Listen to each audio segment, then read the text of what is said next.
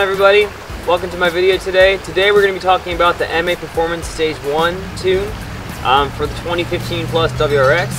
I recently purchased this tune for my car and I'm very excited to throw it on and test it and to compare it to the Cobb Stage 1 tune that I've been running for about the last year. Um, now ideally, ideally we would have some kind of track or autocross set up to do this because I would love to take it around a couple laps with the one tune, switch it over, test it with the next tune, try it like more runs to get some consistency.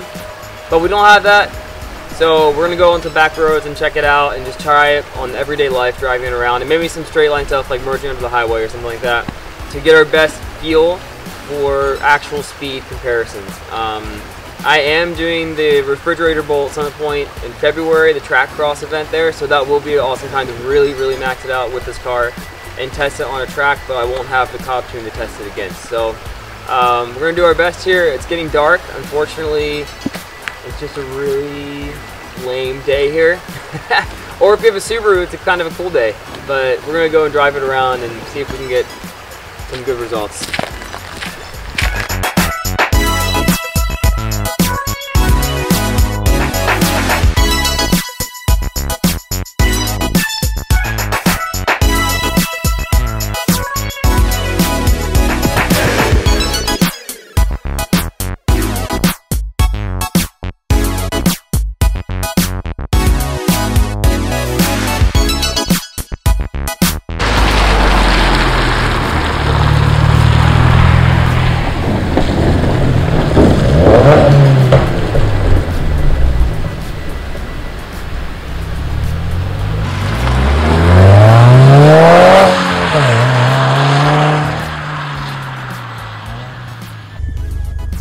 Okay, so let's go ahead and load the tune up. So we're gonna go here, tune, change map, reflash, reflash. There it is.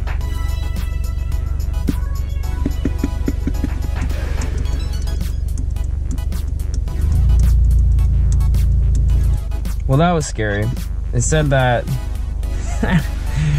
said that it couldn't be used on this, but I think my access port, or it couldn't be used on the version of the access port I was running, but I think my access port is just out of date. So we're gonna go ahead and update this guy. I'm gonna go ahead and update it, and hopefully, fingers crossed, this will do the trick. I can't imagine why it wouldn't. I think that my, I just, I literally haven't updated it since I bought it a year ago. Um, and I bought it used from a guy who bought it three years before that, so it probably hasn't been updated since 2015, maybe. Yeah, so we'll see what happens. Successful. Please eject. Yes, yes, yes, yes, yes. yes. What's out of here? I'm gonna pop that out. All right, let's try this again. Okay.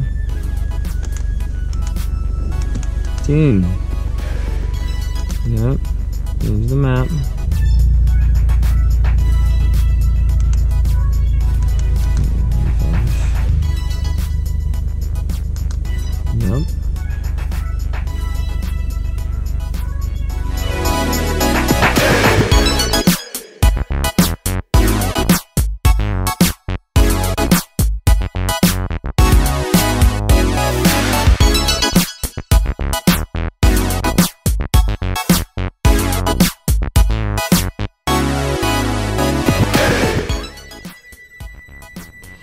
All right, well, let's go for a first startup at least. So I got my key here. I'm gonna go in.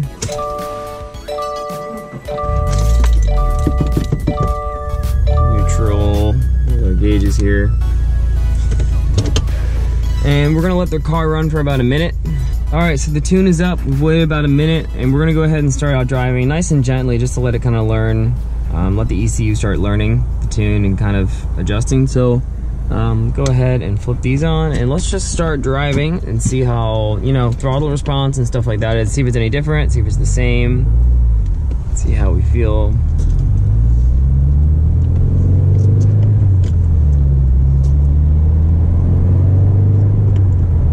Okay, I can already tell you it's different. A little bit. And I think it's just because after you drive the same tune for so long and so many miles, you just know every little nuance of it. And the throttle positioning and response and everything is a little bit different.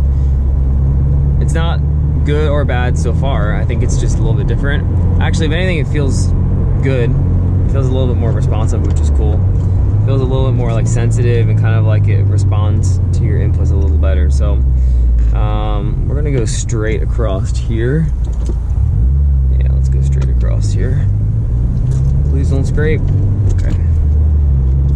Low car problems on my dumb stock 17s. So yeah, let's just cruise. Let's just cruise a little bit. So we're gonna go ahead and head down this back road here. And uh, I have my phone here giving me directions, but we're gonna really take it easy because um, it's really getting icy out here and I don't wanna put it, I don't wanna put the car into the woods. So initial punches and kind of like third gear pulls, a little bit here and there. Um, it really feels good. The torque, and I mean, I haven't really gotten in the high end yet, so it's all torque. And obviously, yes, there's a little bit of wheel spin, but um, the torque feels really good and very, um, the biggest difference is it feels very linear as the Cobb tune and the stock tune were very um, turbo laggy almost. You'd have like nothing and then everything and then nothing again. nah! Frick, dude.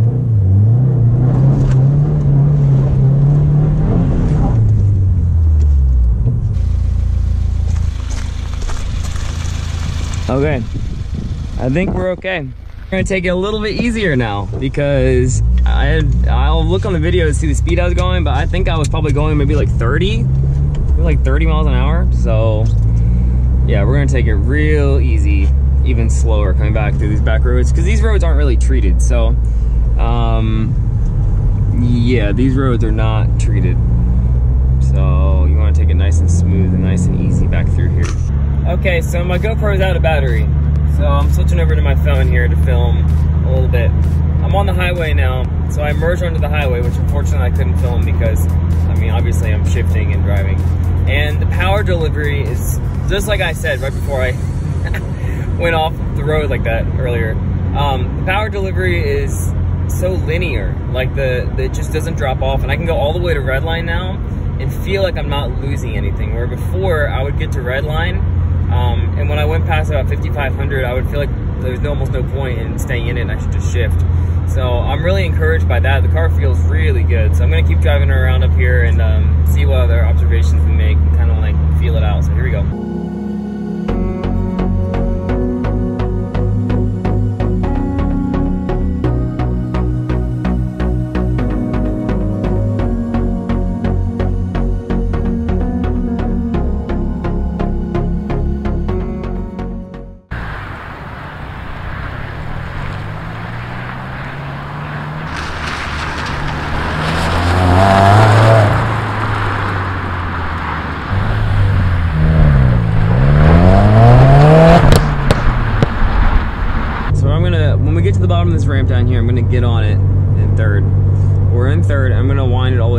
About six. I'm gonna get on it and feel how it's just even power. You'll see it. You go in here, then you go all the way through.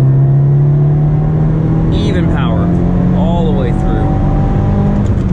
Into fourth. Completely even, smooth, did not drop off at all. And that's really what you're missing in the original tune from Subaru is the huge drop off over 4,500 to 5K. And even the top the uh, Cobb tune, it drops off some, but with this one, it doesn't drop off. So let's try it in second gear here. So I'm in second gear. I'm to come in second gear around 2,000. So I'm to let it get to around three. So second gear, 3,000. And then floored, Wow. And I even short shifted a little bit, but it just really, really pulled really well. So the question we're left at the end of this with is the question of whether it's worth it to spend $80 or $90, I think it's $80, on top of what you already have from Cobb for a different company's stage one or stage two if you're doing that tune. And after driving the car around for the afternoon, I think it is. I think it absolutely is because the amount of not just power and torque that you gain. I know there's dyno specs and everything out there, but I'm I'm, I'm speaking surely um, like subjectively from driving it around. The car is definitely faster. My pickup through second, third, and fourth, the way it goes, punches through those gears and just absolutely just holds such a linear line of power is different than the Cobb tune.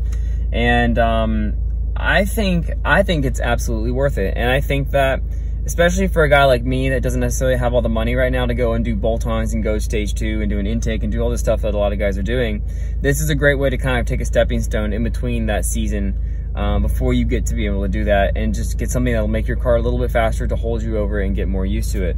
The biggest thing I noticed when I went from the stock tune to the Cobb Stage 1 tune was the throttle response and just the way the car actually drove at low speeds and at high speeds. And of course the power like that was there too and that was different. But the way the car actually behaved. And the crazy thing about this tune is that the car actually behaves basically the same I think but the power is different. The power band is different. The way that the turbo kicks in and the way it just goes seamlessly from the torque to the turbo to the high end and it keeps pulling all the way through is definitely different than the Cobb tune. So that's nice that this time around it wasn't necessarily the way the car drives or drives and the characteristics, but instead it actually was more of the way um, the power is delivered and the kind of power you get out of the car. So I'm pleasantly surprised. I look forward to looking um, to putting it to use at the track next month at the track cross event at the refrigerator bowl. So we're gonna see how it does on that. But after the afternoon, I'm pretty pretty pleased with it, and pretty happy. As always, like and subscribe and stay in tune and stay in touch with what I'm doing. Thank you for the love and the support. Um, like I kind of alluded to, the next video will definitely be the February refrigerator bowl track cross on February 9th. We're having that event, so I'm hoping that I do well, at least in class and hopefully overall, of course, now that I have this MA performance tune. Haha, woo. Um, yeah, so thank you for everything. Like and subscribe, stay in touch, and I'll see you next video. Peace.